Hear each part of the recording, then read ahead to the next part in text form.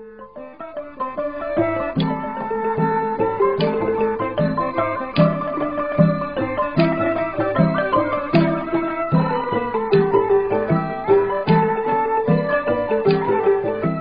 បន្តទៅនេះសូមស្វាគមន៍រាល់ការតាមដានស្ដាប់របស់វិទ្យុខ្មែរប៉ុស្តិ៍ KPR ដែលផ្សាយចេញពីទីក្រុង Long Beach រដ្ឋ California សហរដ្ឋអាមេរិក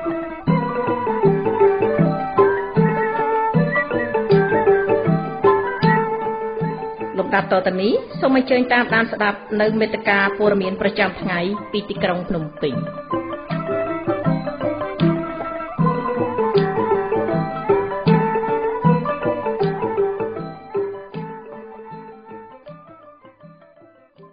ពីរាជធានីភ្នំពេញខ្ញុំបាទសវណ្ណរិទ្ធីរួមជាមួយនឹងសហការីផ្សាយសម្លេងវិទ្យុខ្មែរប៉ុស្តិ៍សូមជម្រាបសួរប្រិមិត្តទាំងក្នុងនិងក្រៅប្រទេសទាំងអស់ជាទីមេត្រី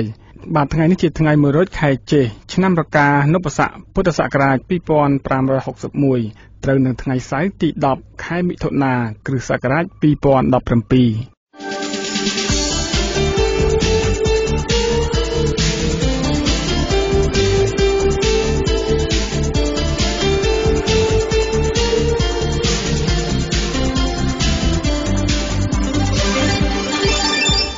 បាទលំដាប់តទៅនេះខ្ញុំបាទសូមជូនដើមមេតិការរឿងរួមមានបទយកការស្ដីអំពីលទ្ធផលនៃការបោះឆ្នោតជ្រើសរើសឃុំសង្កាត់អាណត្តិទី4នីតិសុខភាពតកតងទៅនឹងអត្ថប្រយោជន៍របស់ផ្លែបឺនិងនៅចុងបញ្ចប់នៃកម្មវិធីផ្សាយលោកអ្នកនឹងបានស្ដាប់នៅនីតិអប់រំតាមបែបព្រះពុទ្ធសាសនាវិទ្យុខ្មែរប៉ុស្តិ៍សូមជូននីតិសុខភាព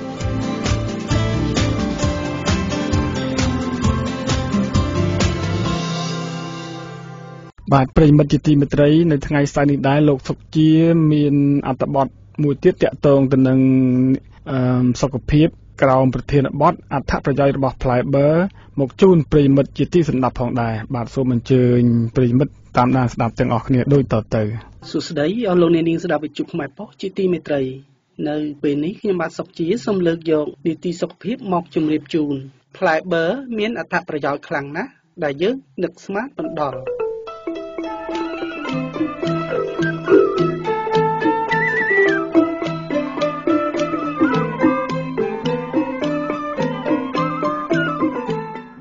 មិនគួរឲ្យជឿទេថា ផ្លែបឺមានអត្ថប្រយោជន៍ល្អយ៉ាងនេះសោះនេះជាសំណាងល្អសម្រាប់ដែលអ្នកចូលចិត្តពិសាផ្លែបឺថ្មីត្បិតតែមានតម្លៃថ្លៃគួរសមប៉ុន្តែ យើងគួរក្រឡេកទៅមើលអត្ថប្រយោជន៍សំខាន់សំខាន់ ទាំង15មុខរបស់វាខាងក្រោមនេះ ទី1ជួយថែរក្សាបេះដូងឲ្យមានសុខភាពល្អផ្លែបឺមានផ្ទុកវីតាមីន B6 និង Folic ដែលជួយគ្រប់គ្រង និងជួយបង្ការជំងឺបេះដូងផ្លែបឺមានវីតាមីន E និងមានខ្លាញ់ម្យ៉ាង ដែលជួយរក្សាឲ្យបេះដូងមានសុខភាពល្អទី2រក្សាលំនឹងសម្ពាធឈាមផ្លែបឺ ក៏ជាប្រភពដ៏អស្ចារ្យនៃសារធាតុប៉ូតាស្យូមដែលអាចជួយក្នុងការគ្រប់គ្រងកម្រិតសម្ពាធឈាម ទី3លក្ខណៈសម្បត្តិប្រឆាំងនឹងការរលាកនៅក្នុងផ្លែបឺមានសារធាតុនិងជាតិដែលត្រូវបានគេរកឃើញថា មានគុណប្រយោជន៍ប្រឆាំងនឹងការរលាកដោយហេតុនេះហានិភ័យនៃការរលាកត្រូវបានកាត់បន្ថយទី4ជួយដល់ភ្នែកជាប្រភពដ៏ប្រសើរ ដែលគេទទួលស្គាល់ថា ដើម្បីជួយការពារប្រឆាំងនឹងភ្នែកដែលឡើងបាយ ឬក៏ងងឹតភ្នែកទៅតាមអាយុកាល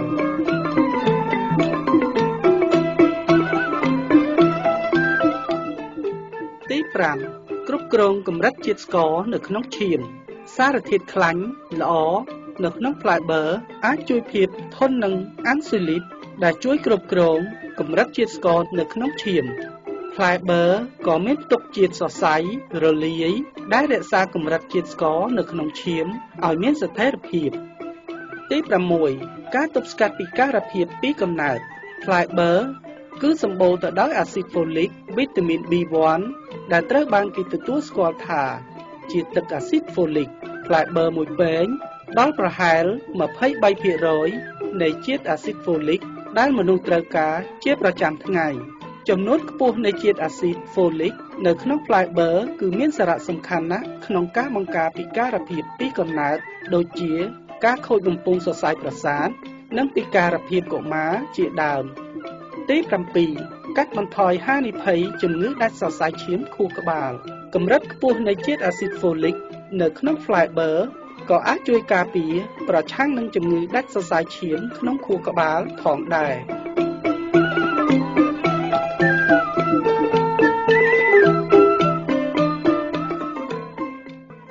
ការសិក្សាស្រាវជ្រាវមួយបានបង្ហាញថា អ្នកដែលញ៉ាំអាហារសម្បូរទៅដោយជាតិហ្វូលិកមានការកាត់បន្ថយហានិភ័យនៃជំងឺដាច់សរសៃឈាមខួរក្បាល ជាងអ្នកដែលមិនបានញ៉ាំ ទី8ការពារប្រឆាំងនឹងជំងឺមហារីកការសិក្សាជាច្រើនបានបង្ហាញថា fiber អាចរារាំងការរីកលូតលាស់និងជំងឺមហារីកនៅក្នុងក្រពីងប្រូស្តាត ទឹកអាស៊ីតនៅក្នុង fiber មានប្រសិទ្ធភាពក្នុងការការពារពីជំងឺមហារីកសូដន់ផងដែរប្រយុទ្ធប្រឆាំងនឹងរ៉ាឌីកាល់សេរី fiber មានសារធាតុម្យ៉ាងដែលប្រឆាំងនឹងអុកស៊ីតកម្មដ៏មានឥទ្ធិពលដែលជួយប្រយុទ្ធប្រឆាំងនឹងរ៉ាឌីកាល់សេរីនៅក្នុងរាងកាយទី10 fiber ក៏សម្បូរទៅដោយសារធាតុប្រឆាំងអុកស៊ីតកម្ម ដែលមានសារធាតុសំខាន់សំខាន់នៅក្នុងការបង្ការរោគសញ្ញាចាស់ជរានៅក្នុង fiber បង្កើនប្រព័ន្ធផ្សំពន្លឿនភាពចាស់ជរា និងជួយដល់ប្រព័ន្ធសរសៃប្រសាទផងដែរទី11ជួយបំបត្តិក្លិនមាត់ fiber ក៏ជាផ្នែកមួយនៃឱសថបំបត្តិក្លិនមាត់និងដកដង្ហើមអាក្រក់វាជួយសម្អាតពោះវៀនដែលជាមូលហេតុពិតប្រាកដនៃច្រាំងអណ្ដាត និងក្លិនមាត់អាក្រក់ ទី12ការជួយបង្កើនការស្រូបសារធាតុចិញ្ចឹមទទួលទាន fiber ជួយបង្កើនការស្រូបយកសារធាតុចិញ្ចឹមតាមការសិក្សាស្រាវជ្រាវមួយ បានបង្ហាញថា នៅពេលដែលអ្នកបរិភោគសាឡាត់រួមបញ្ចូលជាមួយ fiber នឹងអាចស្រូបយកការ៉ូតេនីដូអ៊ីតចំនួន5ដង ជាក្រុមមួយនៃសារធាតុចិញ្ចឹមដែលរួមមានសារធាតុបេតាការ៉ូទីន និងសារធាតុ លីកូពីនជាងអ្នកមិនដែលបានទទួលទាន fiber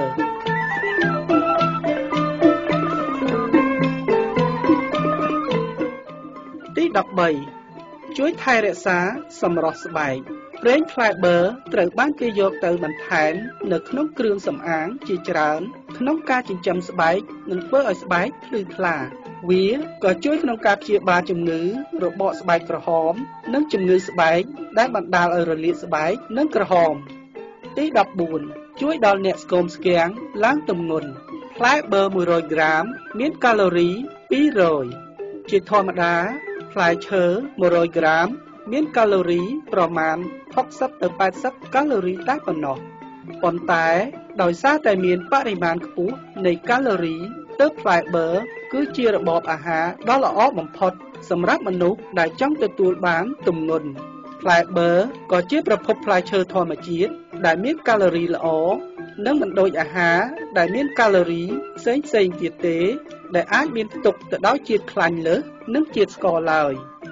ទី15កម្រិតកូលេស្តេរ៉ុលទាប ផ្លែបឺគឺសម្បូរទៅដោយសារធាតុបេតាដែលត្រូវបានគេបង្ហាញថាមានប្រសិទ្ធភាពក្នុងការកាត់បន្ថយកម្រិតកូលេស្តេរ៉ុលក្នុងឈាមបាន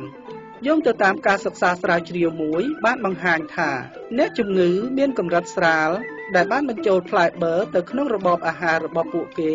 សម្រាប់រយៈពេល7ថ្ងៃ បានធ្លាក់ចុះ17%នៃកម្រិតកូលេស្តេរ៉ុលក្នុងឈាម សរុបធ្លាក់ចុះ22%នៃ LDL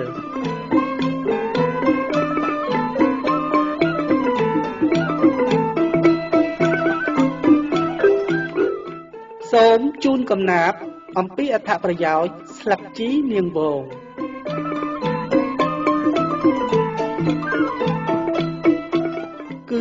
រៀងវងតងជាប់នឹងមែកក្តាប់ស្លឹកចម្លែកសំគ្រឿងជ្រលក់ត្រូវឆ្នាំផ្ដាសាយដេកមិនលក់ញីដំឲ្យទុកធ្វើជាឆ្នាំរុក្ខជាតិគ្រឿងផ្សំសម្លឆ្នាំមែនពិតកែច្នៃប្រឌិតឆ្នាំកែរោគយកផ្សំអាហារយើងបរិភោគសម្បូរកគោមានសន្ធិដ្ឋ ត្រូវឈឺក្រពះរមាស់កភេសជ្ជៈលីស្ករគ្រាប់ត្រាំទឹកឈឺក្បាលដាស់សាយក្អកល្ងាចព្រឹកដើមរឹសស្ងោរផឹកធូរសះស្បើយ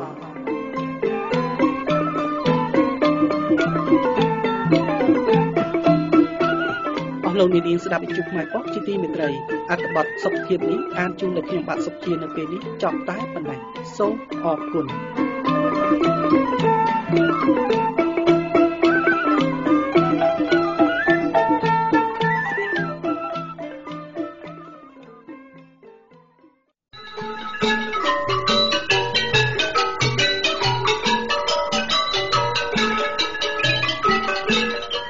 មជូននេតិព្រះពុទ្ធសាសនា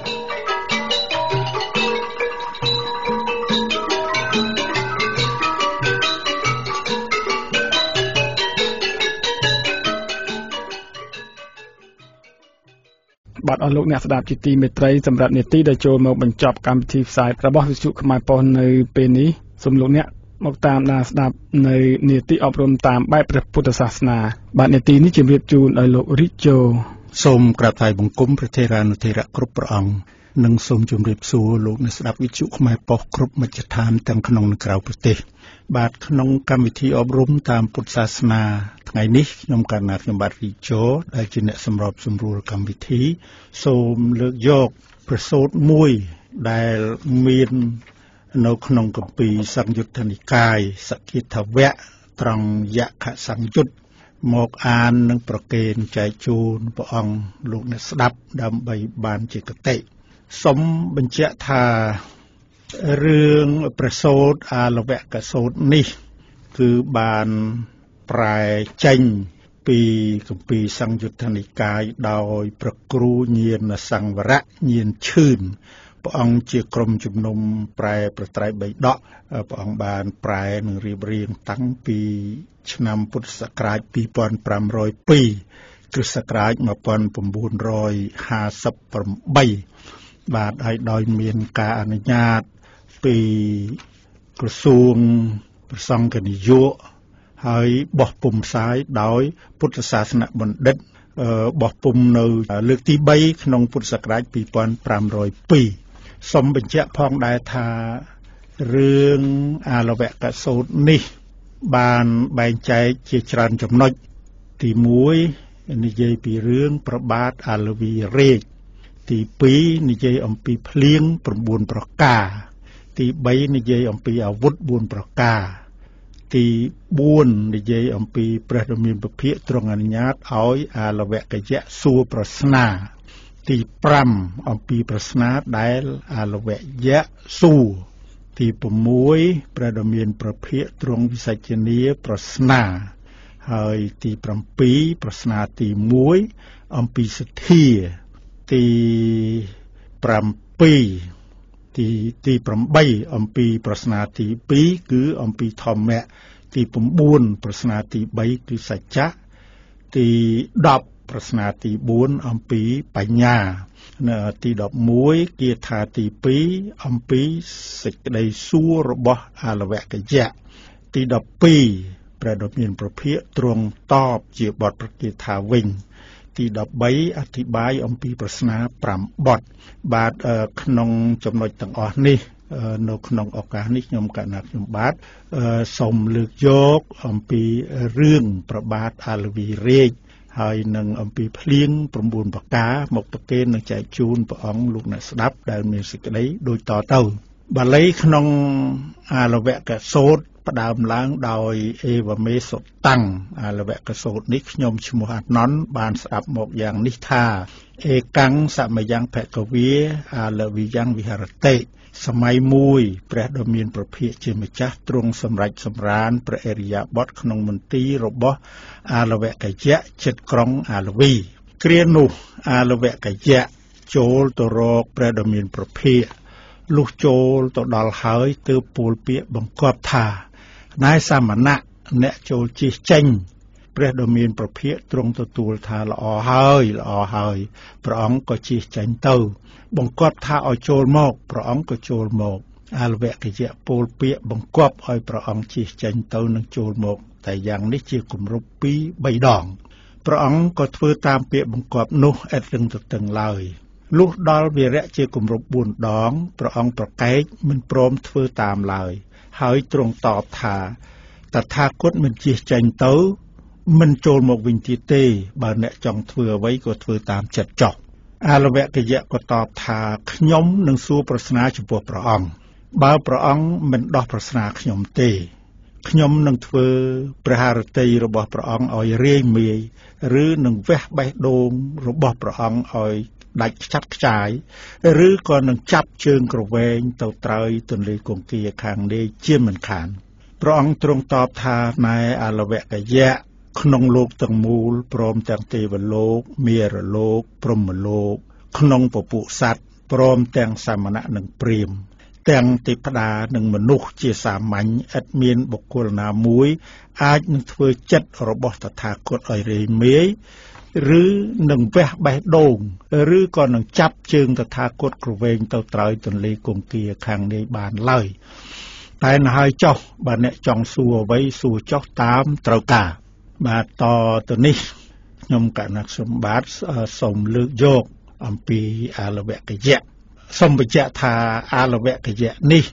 ដែលល្បីឈ្មោះថាជាយៈរបឹងរឹងរូសក្រៃលែងជាងក្រុងមេរាធិរាជ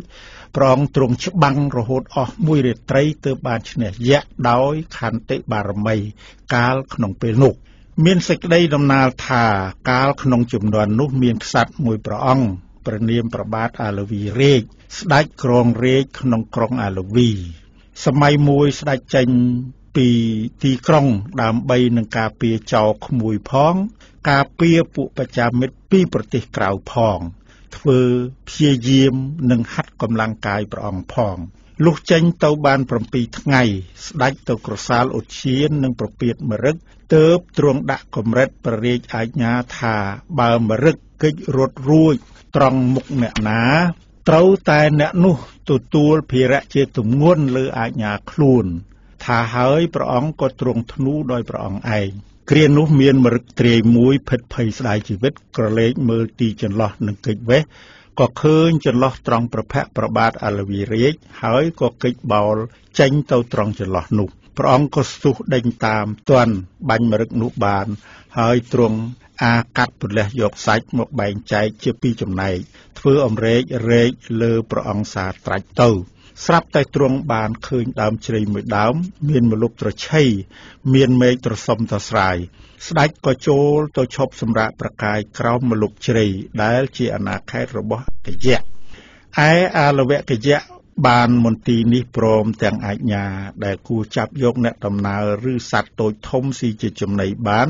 អំពីសំណាក់ស្ដេចចាតមហារាជទាំង4 តាំងពីត្រឹមនោះដរាបមកតែងនឹងចាប់យកអ្នកដំណើរខ្លះសត្វតូចធំខ្លះដែលចូលទៅក្នុងម្លប់ជ្រៃស៊ីជាចំណីរបស់ខ្លួនតាមធម្មតាក្នុងវេលានោះយៈបានឃើញប្របាទអាលវីរាជស្ដេចចូលទៅដល់ម្លប់ជ្រៃហើយក៏ស្ទុះមកចាប់ព្រះអង្គប្រុងនឹងស៊ីជាចំណីដូចគ្រាមុនមុនព្រះអង្គក៏អង្វរយៈថាណៃយៈអ្នកចូលលេងយើងចោះ យើងនឹងបញ្ជូនមនុស្សម្នាក់និងបាយមួយភាជនៈមកឲ្យអ្នករាល់រាល់ថ្ងៃ តាំងតែពីថ្ងៃស្អែកនេះរៀងទៅយៈតបថាក្រែងអ្នកបានរួចពីដៃយើងហើយអ្នកសបាយនឹងស្រីស្នំរបស់អ្នកអ្នកភ្លេចពាក្យសម្ដីរបស់ខ្លួន បែរទៅជាមិនបញ្ជូនមនុស្សនឹងបាយមកឲ្យយើងទេដឹង ចំណែកខាងយើងត្រូវការតែស៊ីអ្នក ព្រោះអ្នកបានចូលមកដល់អាណាខេត្តរបស់យើង យើងមិនមានអំណាចនឹងចាប់យកមនុស្សដែលមិនមានអនុញ្ញាតមកស៊ីជាចំណីបានឡើយ យើងឈ្នះអ្នកហើយ យើងមិនត្រូវការលែងអ្នកឲ្យរួចទៅទេប្របាទអាលវីរាជស្ដេចក៏អង្វរទៀតថាណែយៈបើប្រសិនជាយើងភ្លេច មិនបានបញ្ជូនមកថ្ងៃណាមួយឲ្យអ្នកទៅកាន់មន្ទីរយើង ហើយចាប់យើងស៊ីក្នុងថ្ងៃនោះចោះយើងឥតប្រកែកឡើយមួយវិញទៀតបើអ្នកស៊ីយើងហើយវានឹងល្បីឬខ្យល់ខ្ចាយទៅនានានគរ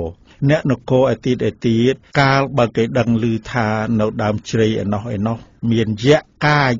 ចាំចាប់មនុស្សស៊ីជាចំណីដូច្នោះគេក៏លែងហ៊ានដើរមកដល់កន្លែងរបស់អ្នកអ្នកនឹងសាបសូន្យខាតលៀបធំតាំងពីថ្ងៃនេះទៅយៈបានស្ដាប់ពាក្យអង្វរនិងពាក្យបំភ័យដូច្នោះហើយក៏លែងស្ដេចអាលវីរាជទៅក្នុងពេលនោះព្រះអង្គក៏ត្រាច់សម្ដៅទៅកាន់នគររបស់ព្រះអង្គទៅឯពួកពលនិកាយ ដែលបោះកងទ័ពនៅរងចាំព្រះអង្គក្នុងពាក់កណ្ដាលផ្លូវជាយូរហើយនោះលុះឃើញស្ដេចមកដល់ហើយទើបនាំគ្នាក្រោកឡើងទទួលគំនាប់ក្រាបបង្គំទូលសួរប្រវត្តិហេតុដែលព្រះអង្គដេញតាមរឹកនោះព្រះអង្គក៏ថ្លែងប្រាប់ប្រវត្តិហេតុរៀបរាប់សពសេចក្តីដោយពរនាមកហើយពីខាងដើម ពួកពលក៏ចោមរោមហែព្រះអង្គចូលទៅកាន់ទីក្រុង លុះស្ដេចបានទៅដល់ទីក្រុងសោយព្រះក្រយាហារួចហើយទើបទ្រង់ត្រាស់ហៅអ្នកករៈគុតិកៈបុរសគឺនាយគុកមកថ្លែងព្រះរាជអង្ការប្រាប់ហេតុនោះដូចមុន អ្នកករៈគុតិកៈបុរសក្រាបបង្គំទូលសួរថាបបិទ្ធព្រះសមត្ថិទេពចុះព្រះអង្គបានកំណត់ប៉ុណ្ណោះថ្ងៃប៉ុណ្ណោះខែដែរឬទេ ស្ដេចទ្រង់ត្រាស់ថាទេ យើងឥតមានកំណត់ថ្ងៃខែទេ អ្នកករៈគុតិកៈបុរសក្រាបបង្គំទូលថាសូមទ្រង់ព្រះមេត្តាប្រោសបើព្រះអង្គមិនកំណត់ថ្ងៃខែយ៉ាងនេះ ជាការកម្រណាស់ព្រោះពួកអមនុស្សទាំងអស់បានតែកំណត់ថ្ងៃខែឲ្យវាទៅងាយកាលបើមិនមានកំណត់ថ្ងៃខែហើយនឹងទៅជាការបៀតបៀនរបស់បណ្ដាជនដែលនៅក្នុងដែនទាំងមូលឲ្យបានសេចក្តីទុក្ខលំបាកជាយូរអង្វែងតែថាណហើយចោះ សូមព្រះអង្គកុំខ្វល់ខ្វាយក្នុងរឿងនោះឡើយ សូមទ្រង់រាជជាសុខសម្រានទៅចោះទូលព្រះបង្គំជាខ្ញុំនឹងចាត់ចែងថ្វាយតាមការគូថាហើយទៅអ្នកករៈគុតិកៈបុរសទៅឈរនៅមាត់ទ្វារគុកពីព្រលឹមហើយចាត់ចែងថាមនុស្សទោសប៉ុណ្ណោះអ្នកត្រូវសម្លាប់ប៉ុណ្ណោះអ្នកត្រូវដោះលែងមនុស្សទោសណាដែលត្រូវសម្លាប់ជាមុន ក៏នាំយកមនុស្សទោសនោះ ទៅឯព្រះដំណាក់ឲ្យងូតទឹកទទួលទានភោជនាហាររួចហើយបង្គាប់ថា អ្នកត្រូវយកភាជនៈមួយភាជនេះ ទៅឲ្យយៈត្រង់ដើមជ្រៃឯណោះឯយៈក៏និមិត្តអត្តភាពធំសម្បើមមុខគួរឲ្យខ្លាច ស្ទុះមកចាប់បរោះអ្នកទោសដែលចូលទៅដល់ដើមជ្រៃនោះហើយបរិភោគព្រមទាំងភោជនមួយភាជនៈផង គូរនីដូចបរោះអ្នកបរិភោគមើមដំណងដូច្នោះក្នុងកន្លែងដើមជ្រៃធំនោះក៏ដេដាស់ពោពេញទៅដោយសរីរៈរបស់មនុស្សមានសក់ជាដើមគោជាគំនរស្អិតជាប់ជាប់គ្នាដូចដុំនវនិតៈទឹកដោះគោខាប់ដោយអំណាចយៈបរិភោគយ៉ាងនោះលុះយូរមកពួកមនុស្សបានឃើញយៈបរិភោគមនុស្សទោស និងភោជនដែលស្ដេចបញ្ជូនទៅឲ្យក៏ភ័យតក់ស្លុតរត់មកប្រាប់ញាតិមិត្តរបស់ខ្លួនទីតីទីតីថាតាំងពីត្រឹមថ្ងៃនេះទៅស្ដេចនឹងបញ្ជូនពួកចៅអ្នកទោសទៅឲ្យយៈស៊ីជាអាហារហើយម្ល៉េះហើយពួកមនុស្សដែលនៅក្នុងដែនអាឡវីក៏លែងប្រព្រឹត្តធ្វើចោរកម្មទាំងអស់គ្នា មិនយូរប៉ុន្មានផ្ទះគុកក៏ស្ងាត់ឥតមានមនុស្សទោសសោះដោយហេតុចោរថ្មីក៏មិនមាន ចូលមកចោរចាស់ក៏អស់សូន្យទៅជាលំដាប់ទើបអ្នកករៈគុតិកៈបរោះយកសេចក្តីក្រាបបង្គំទូលថា សូមទ្រង់ព្រះមេត្តាប្រោសឥឡូវនេះមនុស្សទោសអស់រលីងទៅហើយទើបប្របាទអាលវីរាជស្ដេចទ្រង់បង្គាប់ឲ្យចំណាយព្រះរាជទ្រព្យរាជទានទូទៅតាមលំដាប់ តាមនិគមជនបទរាជធានី ដែលជាអាណាខេត្តរបស់ព្រះអង្គថា បើនរណាមួយ អាចហ៊ានប្រថុយជីវិតខ្លួនទៅឲ្យជាចំណីយៈក៏ចូលកាន់យកទ្រព្យមានប្រមាណប៉ុណ្ណេះចោះសូម្បីព្រះអង្គទ្រង់ប្រទានព្រះរាជទ្រព្យដល់ម្លោះក៏គង់ឥតមានជនណាមួយនឹងប្រាថ្នាទ្រព្យនោះដល់ម្នាក់ឡើយទើបទ្រង់មានព្រះរាជអង្គការត្រាស់ប្រាប់ ដល់ពួកអាមាត្យអាមាត្យក៏ទទួលព្រះរាជអង្គការថាទូលព្រះបង្គំជាខ្ញុំទាំងអស់គ្នានឹងចាត់ចែងបញ្ជូនមនុស្សចាស់ជារាមួយថ្ងៃម្នាក់មួយថ្ងៃម្នាក់តាមលំដាប់ត្រកូលរៀងរៀងទៅព្រោះមនុស្សចាស់សុទ្ធតែតាំងនៅក្នុងប្រធាននៃសេចក្តីស្លាប់ជាធម្មតាស្រាប់ ស្ដេចមិនយល់ព្រមឡើយ ហើយទ្រង់ត្រាស់ថា ក្រែងពួកមនុស្សក្នុងដែនទាំងមូលកើតចលាចលជ្រួលជ្រើម ថាស្ដេចទ្រង់បញ្ជូនមេដាបៃតាយើងនិងឪពុកធំម្ដាយធំយើង ជីដូនជីតាយើងទៅឲ្យយៈស៊ីម្លោះហើយនឹងជាការនាំមិនឲ្យសម្រេចប្រយោជន៍ទេ អ្នកទាំងអស់កុំយល់ដូច្នោះឡើយពួកអាមាតក្រាបបង្គំទូលទៀតថាសូមទ្រង់ប្រមេតាប្រោសបើដូច្នោះនឹងបញ្ជូនទារកតូចតូច ដែលនៅមិនទាន់ចេះអង្គុយព្រោះទារកតូចតូចមិនទាន់ដឹងស្គាល់មេដាបៃតាច្បាស់លាស់នៅឡើយព្រះអង្គក៏ទ្រង់អនុញ្ញាតយល់ព្រម ហើយទ្រង់បញ្ជូនបរិយាអាជ្ញា ទៅគ្រប់តំបន់តាមសេចក្តីដែលទ្រង់យល់ព្រមនោះចំណែកពួកស្ត្រីជាមេដាទារកដែលប្រសូតហើយថ្មីថ្មីក្តី ពួកស្ត្រីដែលកំពុងមានគរក្តី បានដឹងហេតុនោះហើយក៏នាំគ្នា ពរកូនជញ្ជូនចៅរត់ចេញពពកពពូន ជាពួកជាកងទៅនៅឯប្រទេសក្រៅទៅ ពួកមហាមាតតែងរកចាប់បញ្ជូន ទៅតែយ៉ាងនេះអស់រវាង12ឆ្នាំលុះសម័យជាខាងក្រោយមក ពួកអាមាតចាប់ទារកមិនបានដល់ម្នាក់សោះក៏យកសេចក្តីក្រាបបង្គំទូលថាបបពិតប្រសមត្ថទេពឥឡូវនេះរកចាប់ទារកមិនបានទេ ឃើញនៅមានតែអាលវីរាជកុមារដែលជាព្រះរាជបុត្រព្រះអង្គក្នុងព្រះបរមរាជវាំងមួយព្រះអង្គប៉ុណ្ណោះស្ដេចទ្រង់ត្រាស់ថាព្រះរាជបុត្រជាទីស្រឡាញ់ពេញចិត្តរបស់អាត្មាអញដូចម្ដេចមិញសត្វលោកទាំងពួងគង់ស្រឡាញ់ជីវិតរបស់ខ្លួនដូច្នោះដែរបើដូច្នោះអ្នកទាំងឡាយចូលចាប់យកព្រះរាជបុត្ររបស់អញទៅឲ្យយៈហើយរក្សាជីវិតរបស់អញចោះ រឿងនេះហើយដែលគួរយល់ច្បាស់ដល់ប្រពុតដីកាត្រង់បទថាណដ្ឋិអត្តសមੰពេមੰស្រឡាញ់របស់អ្វីមិនស្មើនឹងស្រឡាញ់ខ្លួនឡើយ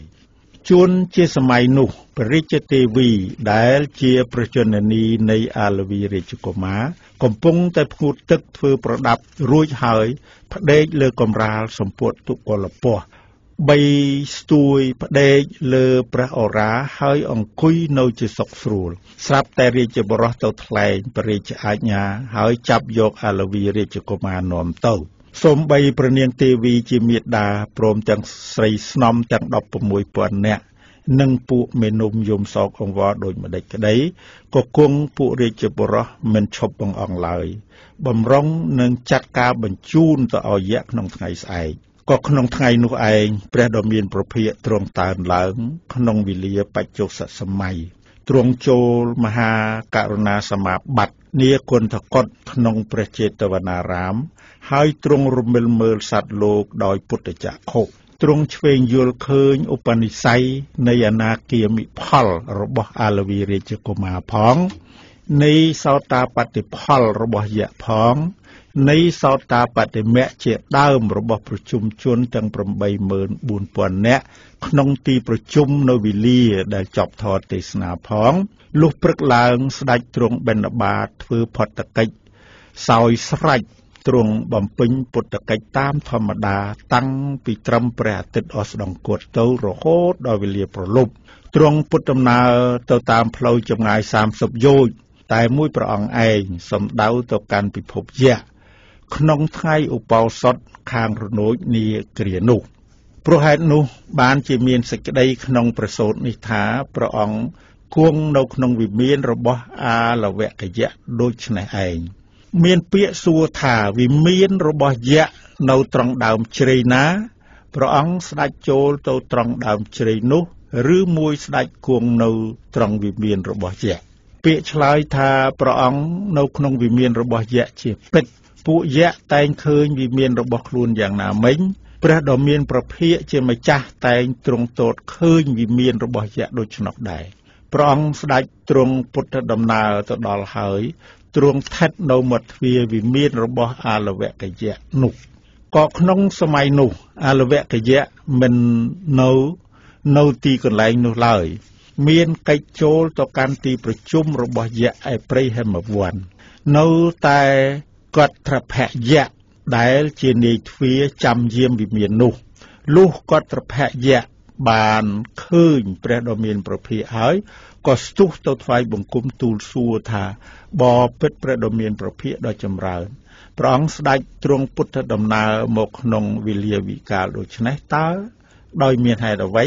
ព្រះសម្ពុទ្ធទ្រង់មិនទាន់ប្រាប់ហេតុទេគ្រាន់តែទ្រង់ទទួលថាអើគាត់ត្រភៈ តថាគតមកដល់អំបញ្ញមិញនេះឯងអើគាត់ត្រភៈប្រសិនបើវិមាននេះនៅទូលាយមិនជាចង្អៀតចង្អល់ណាស់ណាទេ គួរតែតថាគតឈប់សម្រាកក្នុងរាត្រីនេះផងតើបានឬទេគាត់ត្រភៈយៈក៏ក្រាបបង្គំទូលថាបបិទ្ធព្រះសុគតដ៏ចម្រើន មិនចង្អៀតទេលមមស្ដេចនឹងឈប់សម្រាកនៅបាន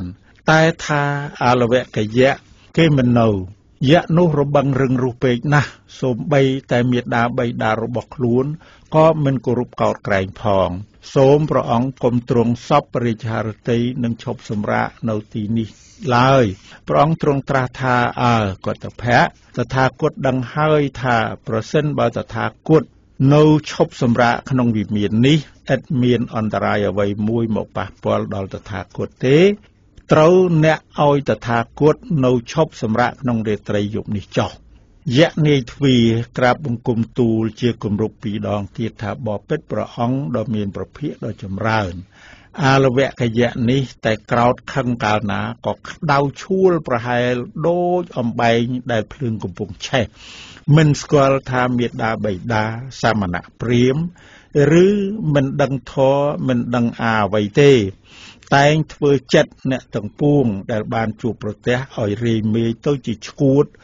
ឬវះបេះដូងអ្នកទាំងនោះឲ្យដាច់ខ្ចាត់ខ្ចាយ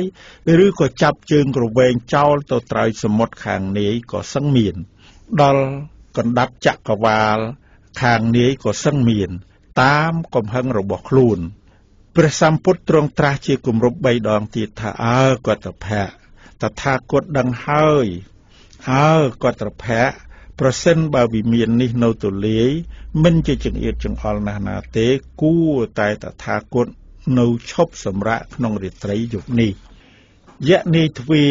ទូលសូមអង្វរទៀតថាបពេតប្រលោកនាតដ៏ចម្រើនខ្ញុំព្រះអង្គនេះឥតសល់ក្រអ្វីនឹងព្រះអង្គទេ តែក្រែងអាលវកយៈគេនឹងធ្វើទុកទោសខ្ញុំព្រះអង្គរហូតដល់ផ្ដាច់ផ្ដិលជីវិតក៏មិនដឹង ព្រោះខ្ញុំព្រះអង្គមិនទាន់បានសូមអនុញ្ញាតគេជាមុន បើដូច្នោះចាំខ្ញុំព្រះអង្គនឹងទៅប្រាប់អាលវកយៈនោះឥឡូវនេះសិនព្រះអង្គទ្រង់ត្រាស់ថាអើក្រតភៈចូលអ្នកទៅប្រាប់អាលវកយៈដោយស្រួលបួលចុះយៈនេទ្វាទទួលប្រពុតិកាហើយក្រាបបង្គំទូលវិញថាបបិទ្ធព្រះទសពលដ៏ចម្រើន សូមព្រះអង្គទ្រង់ជ្រាបចុះ រួចក៏ថ្វាយបង្គំលាព្រះសម្ពុទ្ធហោះសំដៅទៅកាន់ព្រៃហេមវ័នក្នុងមួយរំពេចនោះឯងឯទ្វាវិមានរបស់យៈក៏របើកឯងថ្វាយព្រះសម្ពុទ្ធជាម្ចាស់មួយរំពេចនោះដែរទើបព្រះអង្គស្ដេចចូលទៅខាងក្នុងវិមាននោះ ហើយទ្រង់គង់លើបល្ល័ង្កកែវដ៏ជាទឹកត្រង់ល្វែងដែលអាលវកយៈគេសន្មតថាជាមង្គល ហើយសោយនៅសេរីសម្បត្តិតាមនិយម លុះទ្រង់គង់សុបហើយទើបបញ្ចេញរស្មីមានពណ៌ដូចជាមាសឲ្យភ្លឺរន្ទាលច្រាលឆ្អៅឡើងពួកស្រីស្នំរបស់យៈបានឃើញហើយទើបនាំគ្នាមកថ្វាយបង្គំ អង្គុយគាល់ព្រះអង្គព្រះអង្គក៏ទ្រង់សម្ដែងនៅបកិនកកថាចំពោះពួកស្រីស្នំទាំងនោះថា អ្នកទាំងឡាយបានបរិច្ចាគទានបានរក្សាសិលបានធ្វើសក្ការៈបូជាដល់បុគ្គលដែលគួរដល់កិរិយាបូជាទុក មកពីមុនច្រើនទើបអ្នកបានមកសោយសម្បត្តិទឹកក្នុងកាលឥឡូវនេះ បើដូច្នោះអ្នកទាំងឡាយត្រូវធ្វើបញ្ញកិរិយាវត្ថុដូចមុនទៀតអ្នកទាំងឡាយកុំច្រណែនឈ្នានេះដល់គ្នាឯងឡើយស្រីស្នំទាំងនោះលុះបានស្ដាប់មធុរទេសនាដ៏ពិរោះទើបនាំគ្នាថ្វាយសពសាធុការចំពោះព្រះដ៏មានប្រភិយហើយអង្គុយគល់ព្រះដ៏មានប្រភិយក្នុងវិមាននោះឯង ឯកត្រភយៈជានាយទ្វាក៏ទៅដល់ព្រៃហេមវ័នបានជួបនឹងអាលវកយៈហើយប្រាប់អាលវកយៈថាណែអ្នកដ៏ចម្រើន សូមអ្នកជ្រាបចោះព្រះដ៏មានប្រភិយកំពុងគួងនៅក្នុងវិមានរបស់អ្នកឯណោះអលវកយៈបានស្ដាប់ហើយក៏ឲ្យសញ្ញាដល់កត្រភយៈថាអ្នកត្រូវទៅតែស្ងៀមចុះ ចាំយើងទៅហើយនឹងធ្វើទុកទោសដល់សមណៈនោះតាមគួរនឹងការជួនជាគ្រានោះពួកសាតាគិរិយៈព្រមទាំងពួកយៈជាបរិវារនាំគ្នាត្រាច់មកតាមអាកាសដោយយានផ្សេងផ្សេង មានបំណងនឹងទៅថ្វាយបង្គំព្រះដ៏មានប្រភិយជាមុនសិន រួចហើយសឹមចូលទៅកាន់ទីយៈកសនិបាតជាខាងក្រោយ មួយទៀតសោតក្នុងផ្ទៃអាកាសទាំងអស់ឥតមានផ្លូវដែលមានទំនងនឹងត្រាច់ទៅសោះព្រោះវិមានដែលថិតនៅតាមអាកាសសឹងទឹះគ្នានឹងគ្នា មានតែផ្លូវទៅកាន់គ្នាពីមួយទៅមួយប៉ុណ្ណោះពុំមានផ្លូវនឹងទៅរហូតបានឡើយឃើញតែវិមានរបស់អាលវកយៈដែលប្រតិស្ថានទុកនៅលើផែនដី ជាវិមានស្ដុកស្ដំ មានកំពែងព័ទ្ធជុំវិញ មានខ្លោងទ្វារជិតស្និទ្ធល្អ បែកខាងលើពីសដោយសំណាញ់ដែកប្រហែលដូចជាគម្របហិបមានកម្ពស់3យោជខាងលើវិមាននោះទើបមានផ្លូវសំគួរនឹងទៅបាន តែពួកសាតាគិរិយៈបែរជាទៅមិនបានវិញព្រោះព្រះដ៏មានប្រភិស្ដេចកំពុងនៅក្នុងវិមាននោះក៏ធម្មតាប្រពុតគ្រប់ព្រះអង្គ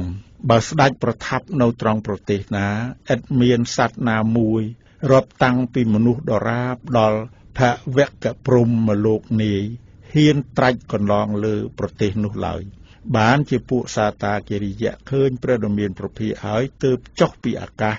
គួរនីដូចជាដុំដីធ្លាក់មកកាន់ផែនដី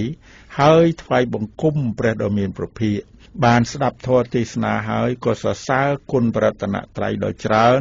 ទើបធ្វើប្រតិសិនលាទៅកាន់យៈសមាគមទៅ ឯអាលវកយៈបានដឹងថាជាពួកសាតាគិរិយៈអង្គុយនៅទីនោះក៏បើកឱកាសឲ្យហើយជិះចេញទៅដែរទើបពួកសាតាគិរិយៈប្រាប់អាលវកយៈថាណែអាលវកយៈអ្នកពេញជាមនុស្សមានលៀបព្រោះព្រះដ៏មានប្រភិយកំពុងគង់នៅក្នុងវិមានរបស់អ្នកណែអាលវកយៈដ៏ចម្រើនបើអ្នកទៅដល់ហើយត្រូវអ្នកចូលទៅអង្គុយចិត្តព្រះអង្គចុះ លំដាប់នោះអាលវកយៈចូលទៅដល់ហើយ បង្គាប់ឲ្យព្រះអង្គចុះចេញពីវិមាននិងហៅឲ្យចូលមកវិញដោយបានពរនារួចមកហើយពីខាងដើម មានពាក្យសួរថាអលវកយៈនេះពោលពាក្យដូចនេះតើប្រហេតុអ្វីពាក្យឆ្លើយថាព្រោះអលវកយៈខឹងអន់ចិត្តនឹងព្រះអង្គណាស់ក៏ធម្មតាពាក្យថាសទ្ធាសេចក្តីជឿនេះជាពាក្យ មិនពីរោះពិសាដល់អ្នកដែលឥតមានសទ្ធាដោយពាក្យថាសិលជាពាក្យមិនពីរោះពិសាដល់អ្នកទ្រុសិលដូច្នោះដែរព្រោះហេតុនោះអលវកយៈលុះឮពាក្យសរសើរព្រះពុទ្ធអង្គអំពីពួកយៈទាំងនោះហើយក៏រឹងរឹតតែខឹងក្រោតខ្លោចផ្សាខាងក្នុងហរតីដូចជាដុំអំបិលដែលគេបងចុះក្នុងភ្លើង ហើយស្រែកសន្ថប់ថានរណាណោព្រះដ៏មានប្រភិយម្ដេចក៏ហ៊ានចូលមកកាន់វិមានរបស់យើងឥតប្រាប់យើងជាមុនសោះពួកយៈទាំងនោះនិយាយរំលឹកថាណែអាលវៈកយៈដ៏ចម្រើន អ្នកមិនដឹងទេឬព្រះដ៏មានប្រភិយជាគ្រូរបស់យើងនេះ ដើមឡើយស្ដេចថិតនៅក្នុងពិភពដ៏សិតទ្រង់រមិលមើលនៅបញ្ចមហាវិលោកណៈទាំង5 ឃើញច្បាស់លាស់ហើយទើបស្ដេចជាយត់ចុះពីពិភពដ៏សិតមកកើតក្នុងមនុស្សលោកនេះ ជាអរោះរបស់ក្សត្របានគ្រប់គ្រងរាជសម្បត្តិសំគួរដល់កាលហើយទ្រង់ចេញបព្វជិធ្វើទុក្ករកិរិយារហូតដល់បានត្រាស់ដឹងជាប្រពុតទ្រង់សម្ដែងប្រធមចក្រចំពោះពួកបញ្ញវគិយភិក្ខុអ្នកមិនឃើញអស្ចារ្យនេះទេឬ អាលវកយៈនោះសូមបីឃើញពិតពិតក៏តបថាមិនឃើញដែរដោយអំណាចសេចក្តីក្រោធទើបពួកយៈទាំងនោះនិយាយទៀតថាណែអាលវកយៈអ្នកចង់ឃើញក្តី មិនឃើញក្តីក៏មិនប្រយោជន៍អ្វីដែរបើអ្នកត្រូវការនឹងធ្វើអ្វីក៏ធ្វើតាមការរបស់អ្នកចោះឯអ្នកនេះបើនឹងយកមកប្រៀបផ្ទឹមនឹងព្រះដ៏មានប្រភិជាគ្រូរបស់យើងហើយ អ្នក នឹងថោកថយជាងពេកណាស់ប្រហែលដូចជាកូនគោតូចទៅនឹងកើតមួយថ្ងៃស្ថិតនៅចិត្តគោឧសពដ៏ធំ ឬដោយកូនកង្កែបតូចស្ថិតនៅចិត្តដំរីចោះប្រេងដ៏ធំ ឬក៏ដូចជាចកចាស់ថិតនៅចិត្តកេសររាជសីជាស្ដេចមរឹកដែលមានខ្លួនធំ ពុំនោះសោតដូចកូនក្អែកមានស្លាបជ្រុះអស់ ស្ថិតនៅចិត្តស្ដេចគ្រុឌដែលមានខ្លួនធំប្រមាណមួយយោជដូច្នោះដែរអ្នកចូលទៅជាប្រយ័ត្នអ្នកចង់ធ្វើអ្វីក៏ធ្វើចោះតាមការរបស់អ្នកលុះពួកយៈទាំងនោះនិយាយដូច្នោះហើយអាលវៈកយៈក៏រឹងរឹតតែខឹងក្រោតឡើង ក្រទីក្រទាឈរលើផ្ទៃមនោសេលា ដោយជើងឆ្វេងស្រែកគំរាមថាណែអ្នកទាំងឡាយចូលមើលចុះ គ្រូរបស់អ្នកមានអនុភាពធំជាង ឬយើងមានអនុភាពធំជាង ថាហើយក៏ស្ទុះទៅជន់លើកំពូលភ្នំកៃឡាស់ដែលមានកម្ពស់60យោជន៍ដោយជើងខាងស្ដាំ ចំណែកដុំដែកដែលបែកចេញអំពីភ្នំដោយគេប្រហារដោយញញូដែកអលវៈកយៈក៏ឈរនៅលើភ្នំនោះ ហើយបញ្ចេញសម្រែកថា យើងនេះហើយដែលឈ្មោះអលវៈកយៈ សម្រែកក៏លន់លើកងរំពងផ្សាយទៅពេញចម្ពោះទ្វីបទាំងមូល ហាក់ដូចជាគេឈរនៅមាត់ទ្វារចម្ពោះទ្វីបហើយស្រែកឡើងដូច្នោះដែរសូម្បីភ្នំហេមពៀនដែលមានទំហំ3000យោជដល់ម្លោះក៏គង់កម្រើកញាប់ញ័រដោយអានុភាពរបស់យៈទើបអលវៈកយៈបណ្ដាលជាមណ្ឌលខ្យល់ធំ មានបំណងនឹងឲ្យបក់ប៉ើងព្រះអង្គមណ្ឌលខ្យល់នោះតាំងឡើងពីទិសខាងកើតជាដើម ហើយបោកបំបាក់កំពូលភ្នំ ដែលមានទំហំប្រមាណកន្លះយោជខ្លះមួយយោជខ្លះពីរយោជខ្លះបីយោជខ្លះបោកទៅលើព្រៃធំតូចធ្លាយរហូតដល់ក្រុងអាឡូវី បោកកំតិចទីរោងដំរីសេះជាដើម បំពើងក្បឿងប្រក់អណ្ដែតពីពេញអាកាស លុះធ្លាក់មកដល់ចិត្តព្រះទសពលហើយក៏ស្ងប់ឈឹងពុំអាចបំពើងព្រះអង្គបានឡើយសូម្បីតែជេរចៃវរក៏មិនបញ្ជួយបន្តិចបន្តួច ដោយអំណាចសេចក្តីអធិដ្ឋានរបស់ព្រះអង្គថាកំហុសកុំគប្បីមានដល់អ្នកណាមួយឡើយ លំដាប់នោះអាលវៈកយៈបណ្ដាលជាភ្លៀងធំ បំណងនឹងឲ្យជន់ចូលលិចព្រះអង្គដោយទឹកជន់ភ្លៀងក៏តាំងឡើងមានក្របធំធំថ្លោះថ្លោះចំនួន100ក្របខ្លះ1000ក្របខ្លះបង្អុលចុះមកលុះធ្លាក់មកដល់ផែនដីក៏បែកខ្ទេចខ្ទីដោយកម្លាំងទឹកចំនួនក៏ហូរជន់ចូលលិចលើព្រៃតូចធំដើមឈើតូចធំ តែយ៉ាងណាក៏ដោយក៏មិនអាចនឹងទទឹកព្រះកាយព្រះអង្គដល់តិចតួចសូម្បីប៉ុនដំណក់ទឹកសន្សើមបានឡើយបណ្ដាលជាភ្លៀងធំដុំថ្មមានដុំធំធំប៉ុនកំពូលភ្នំ បាចសាចមកតាមអាកាសលុះធ្លាក់មកដល់ចិត្តព្រះទសពលហើយក៏คล้ายជាកម្រងផ្កាទឹកគ្រឿងបូជាទៅវិញបណ្ដាលជាភ្លៀងគ្រឿងប្រហារ គឺអាវុធមុខមកខាងខ្លះទាំងសងខាងខ្លះជាដាវលំពេងកូនសជាដើមខ្លះបាចសាចមកតាមអាកាសលុះធ្លាក់មកដល់ចិត្តព្រះទសពលហើយក៏คล้ายជាផ្កាទឹកគ្រឿងបូជាទៅវិញបណ្ដាលជាភ្លៀងរងើកភ្លើងក្រហមរន្ទាលច្រាលឆ្អៅដោយផ្កាចាធ្លាក់មកតាមអាកាសត្រឡប់คล้ายជាផ្កាទឹកគ្រឿងបូជាទៀតបណ្ដាលជាភ្លៀងផេះក្តៅ ធ្លាក់មកដល់តាមអាកាសក៏คล้ายជាលំអិតក្លឹមច័ន្ទទៅវិញបណ្ដាលជាភ្លៀងដីខ្សាច់ដែលមានក្របល្អិតធ្លាក់មកតាមអាកាសក៏คล้ายទៅជាផ្កាទឹកគ្រឿងបូជាទៀតបណ្ដាលជាភ្លៀងភក់កខ្វក់ធ្លាក់មកតាមអាកាសក៏คล้ายជាគ្រឿងក្រអូបទឹកគ្រឿងបូជាទៅវិញបណ្ដាលជាងងឹតដូចងងឹតដែលប្រកបដោយអង្គ4ក៏คล้ายទៅជាភ្លឺដូចរស្មីព្រះអាទិត្យ កំចាត់ងងឹតឲ្យបាត់ទៅវិញ អាលវកយៈតែងបណ្ដាលជារិទ្ធផ្សេងផ្សេងអស់វារៈ9ដង មានខ្យល់ជាដើមគង់មិនអាចនឹងបណ្ដេញព្រះដ៏មានប្រភិឲ្យចោះចេញបានទើបចូលទៅចិត្តព្រះដ៏មានប្រភិជាម្ចាស់ជាមួយនឹងសេនាមានអង្គ4ច្រឡោកច្រឡំគ្នាដោយពួកភូមានរូបជាច្រើនសន្តាន ប្រុងនិងប្រហារផ្សេងផ្សេងពីគ្នា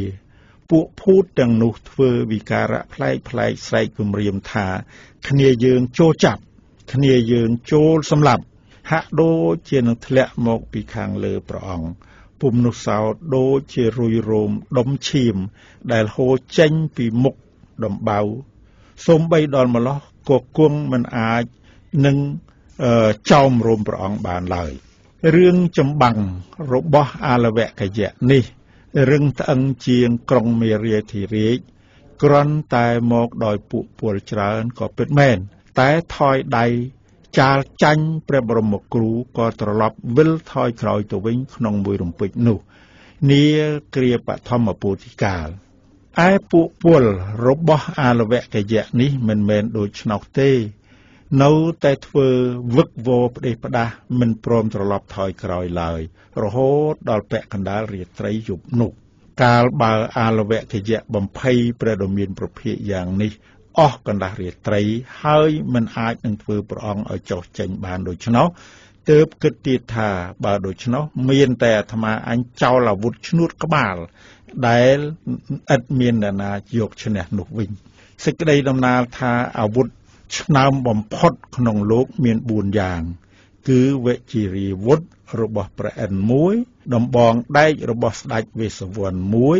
ភ្នែករបស់ប្រយុទ្ធមួយ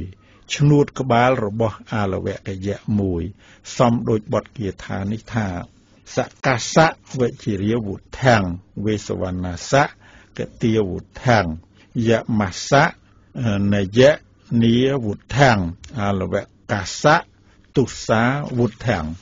ឯអនុភាពនៃអាវុធទាំង4នោះដូចនេះបើប្រអិនទ្រង់ខ្ញាល់ហើយប្រហារវជារាវុធត្រង់កំពូលភ្នំសេនេរុភ្នំនឹងដាច់ខ្ចាត់ខ្ចាយចេញពីគ្នា មានចម្ងាយ168,000យោជន៍រាប់ស្មើនឹងផែនដី 2ដំបងដែករបស់ស្ដេចវេស្សវណ្ណបើក្រវែងចោលទៅហើយនឹងដាច់ក្បាលពួកយៈប្រមាណ1000នាក់ធ្លាក់ចុះហើយត្រឡប់វិលមកដល់ដៃដូចដើមវិញ3ព្រះយមបើទ្រង់ខ្ញាល់ហើយក្រន់តែឈៀងប្រណេតក៏ពួកយៈកំផន់ប្រមាណ1000នាក់ដល់នៅសេចក្តីវិនិច្ឆ័យមួយរំពេចគូរនីដូចតងស្មៅដែលឆេះក្នុងអំបែងក្តៅដូចឆ្នោ 4អាលវកយៈលុះខឹងក្រោតហើយ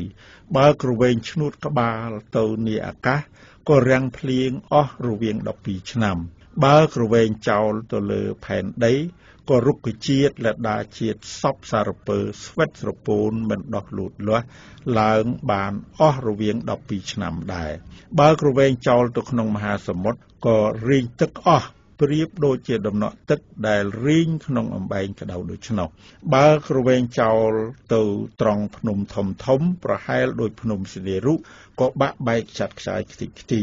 ទើបអលវកយៈនោះក្រវែងទុសាវុធឈ្នួតក្បាលរបស់ខ្លួន ដែលមានអានុភាពធំដល់ម្លោះពេញកម្លាំង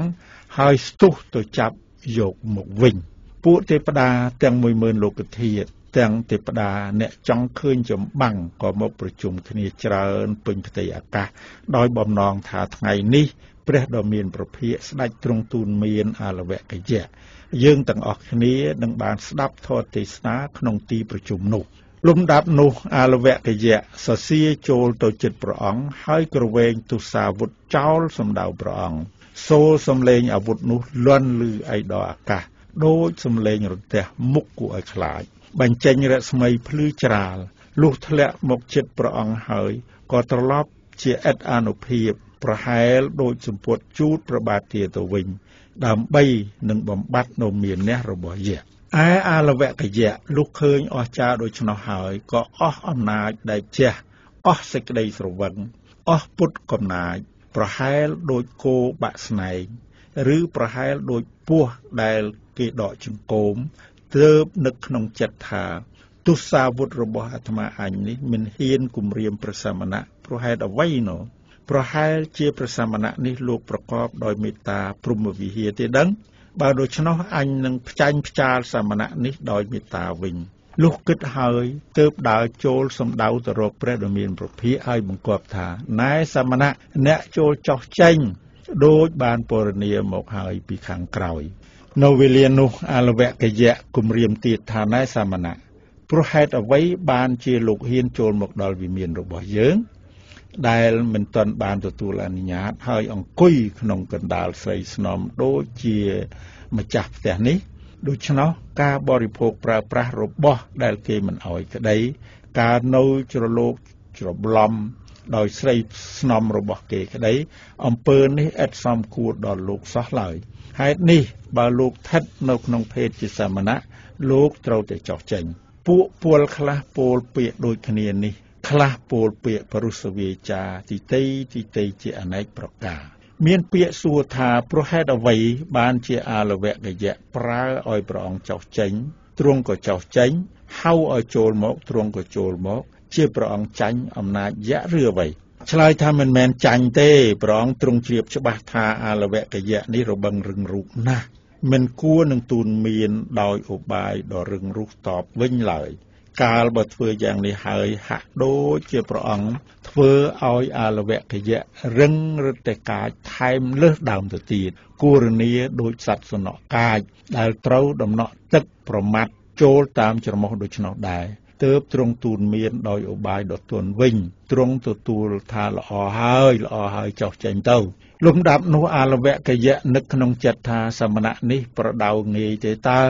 អាត្មាអញបង្គាប់តែមួយម៉ាត់ថាឲ្យចោះចេញ លោកក៏ចោះចេញ មិន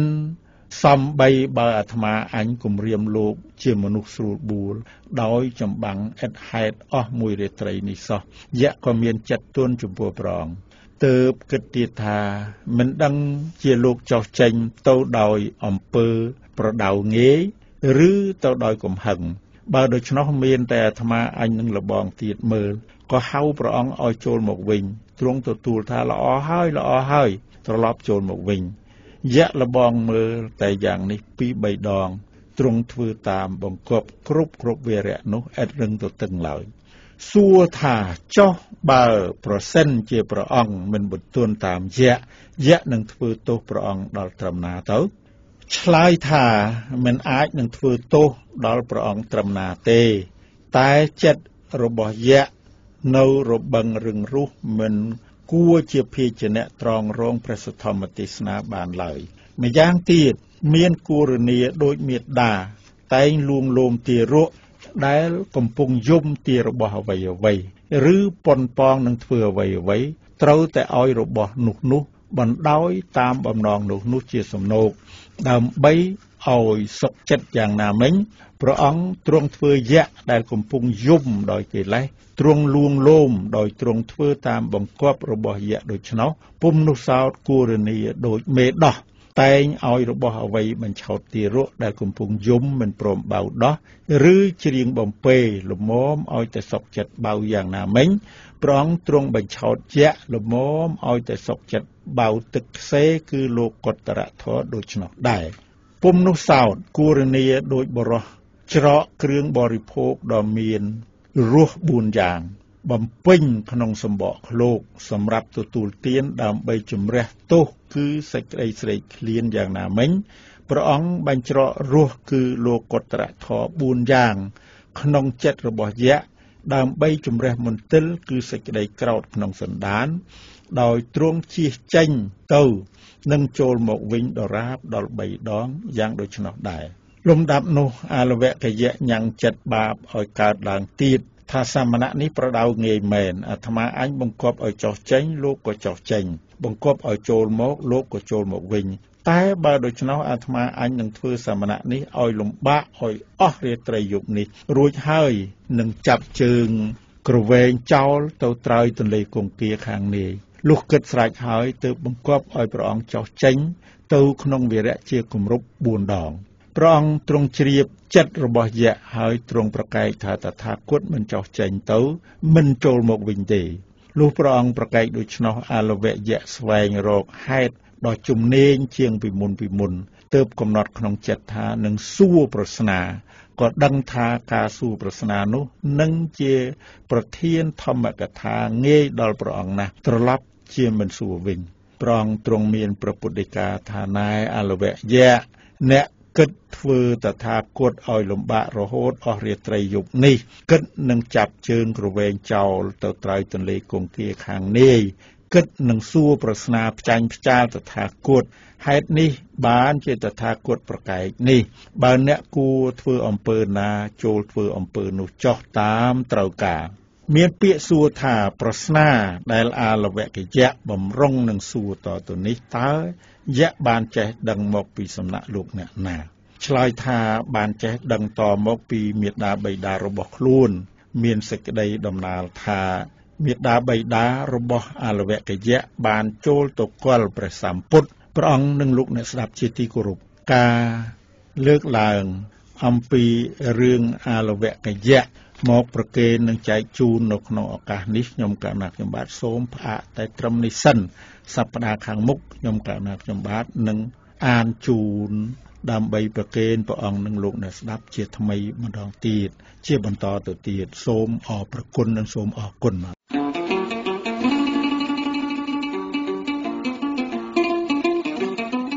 លោកអ្នកស្ដាប់វិទ្យុខ្មែរប៉ុស្តិ៍ជាទីគោរពរាប់អាន កម្មវិធីផ្សាយរយៈពេល1ម៉ោងបានមកដល់ទីបញ្ចប់ហើយនាងខ្ញុំជាមីមៀចនិងសហការីនៃវិទ្យុខ្មែរប៉ុស្តិ៍សូមប្រសិទ្ធពរជ័យសិរីមង្គលជូនដល់ប្រិយមិត្តអ្នកស្ដាប់ឲ្យជួបតែសំណាងល្អសុខភាពបវរប្រសើរនិងជោគជ័យនៅរាល់គ្រប់ភារកិច្ចការងារសូមអរគុណ